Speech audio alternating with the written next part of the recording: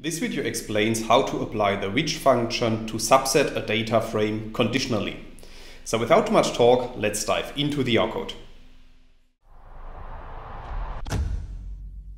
In this video I will show you two examples and both of these examples are based on the data frame that we can create with lines 2 to 4 of the code.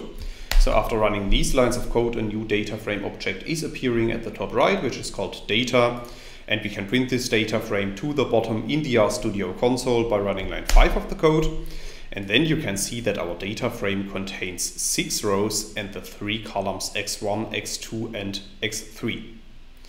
Now let's assume that we want to create a subset of this data frame using the which function. Then we can apply the code that you can see in line 7. So in this line of code, I'm applying the which function to create a logical condition which says that I only want to keep those values where the column x1 is greater or equal to the value 3. And then I'm applying the which function within square brackets to subset our original data frame. And I'm also assigning the output of this to a new data frame object that I'm calling data new 1. So after running line 7 of the code, a new data frame object called data new 1 is appearing at the top right.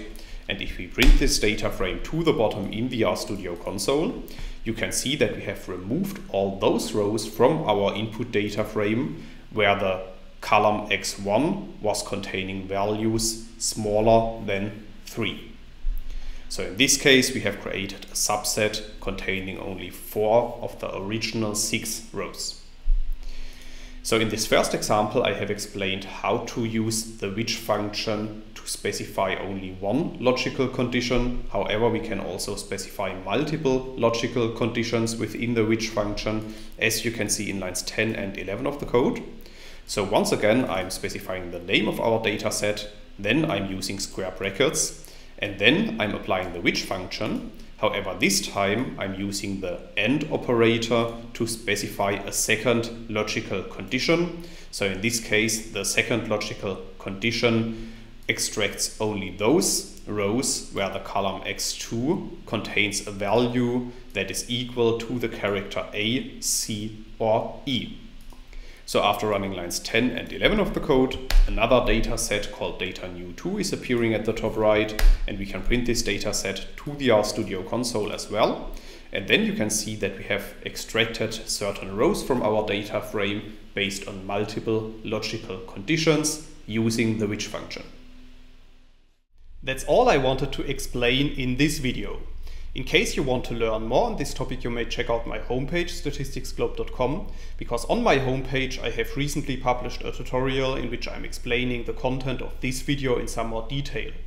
I will put a link to this tutorial into the description of the video so you can find it there. If you have liked this video or if you have any questions, let me know in the comments section below. I'll try to respond to all comments as soon as I can. Furthermore, make sure to subscribe to my YouTube channel to get notified about future video releases. I have already published about 500 videos on this channel and I'm releasing new videos on a daily basis. Thanks a lot for watching, see you in the next video.